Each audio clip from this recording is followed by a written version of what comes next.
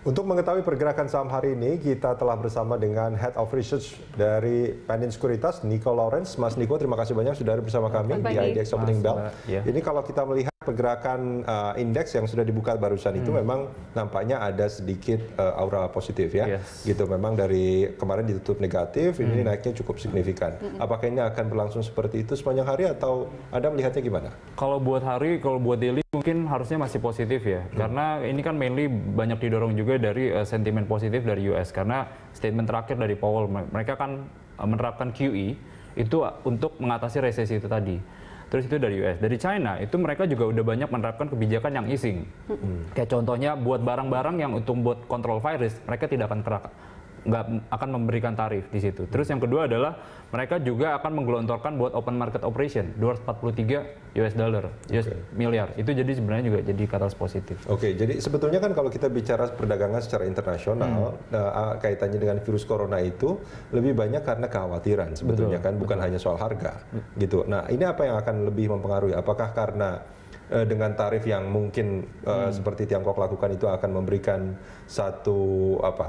eh, bergening ya, artinya orang kekhawatirannya menjadi turun karena harganya lebih murah atau atau mana yang akan lebih berpengaruh? Kalau dibilang sentimen sebenarnya nggak juga sih, Mas. Jadi karena sebenarnya kalau kita lihat Hubei dan Wuhan itu kontribut 4% ke GDP China. Oke. Dan kalau dari posisi itu mereka kayak central hub. Jadi logistik tuh harus lewat situ. Itu kalau bisa dibilang karena misal logistiknya agak turun, kelihatan banget harga komoditas turun. Batu bara, copper, nikel, timah itu turun semua. Jadi itu juga mainly itu akan fundamentalnya juga akan turun. Makanya buat para ekonom, mereka udah cut estimate growth buat China. Itu kemarin roughly sekitar 5,7, 5,8 sampai 6,1 persen, turun 30 basis point.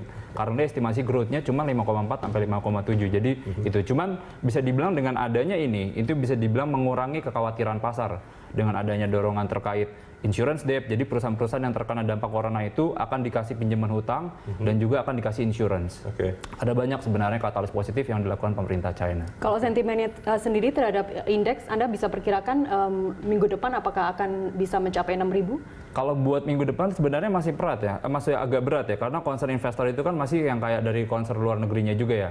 Ibaratnya apakah corona ini udah mulai teratasi atau enggak. Terus dalam negeri juga sebenarnya pressure masih ada terkait dari kasus-kasus reksadana. Iya. Karena kan sebenarnya buat beberapa aset management, mereka punya time range itu at least nanti buat mid Februari mereka harus udah jualan likuidasi. Jadi itu selling pressure-nya dari dalam domestik masih ada. Terus fokus investor juga sebenarnya dari dalam negeri ya. Maksudnya kan earnings release sudah keluar beberapa eh, contohnya kayak contohnya Unilever itu adalah consumer related. Itu kalau kita lihat revenue itu bisa dibilang cuma single digit. Padahal zaman-zaman 2013 2012 itu mereka bisa double digit. Jadi pressure terkait perlambatan ekonomi ini yang impact ke corporate earnings itu juga udah mulai kerasa. Apakah memang faktor um, rivalitas, persaingan betul. usaha yang membuat uh, Unilever semakin ke sini semakin jatuh saham? Iya, dari by business mereka kan yang punya yang personal care dan food and refreshment itu kelihatan banget competitionnya. Margin udah agak relatively ke squeeze, itu yang sebenarnya juga bikin earnings nggak begitu. Earnings sebenarnya naik ya, cuman itu bisa dibilang dari divestasi bisnis, itu yang bisnis spreadnya dia. Ya, cuman kalau kita lihat dari core core operation itu sebenarnya juga masih relatively masih masih lemah, masih weak. Oke, tapi sektor consumers yang biasanya tahan banting ini masih um, layak untuk dikoleksi ya? Iya, kalau buat consumer kita buat favorable uh, sektor yang kita favor mungkin adalah uh, salah satunya consumer ya. Cuman kita preferensinya mungkin lebih ke ICBP dan Indofood.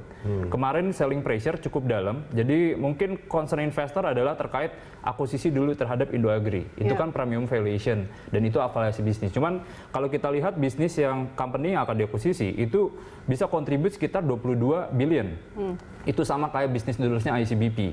Mereka ada di tujuh negara. Mereka punya market share 50 sampai 90 persen. Jadi itu positif harusnya in the long run. Cuman itu terkait mungkin lebih karena sentimen. Dan kalau kita lihat kan ICBP by business itu lebih terdiversifikasi ya. Mereka punya beverages, mereka yang punya coklat, mereka punya noodles. Dan Indofood positif, valuasi jauh lebih murah dibandingkan ICBP. 50% lebih murah price earnings. Lalu mereka punya CPO bisnis yang trennya lagi positif. Jadi itu akan mitigasi kalau misalnya ada perlambatan lagi yang di sektor lainnya. Baik, selain ICBP atau um, INDF yang layak untuk dikoleksi, saham-saham apa lainnya yang Anda rekomendasikan hari ini? Tapi jawabannya ditunda dulu. Pemirsa kita kembali, saham apa saja yang bisa Anda koleksi hari ini? Simak ulasannya usai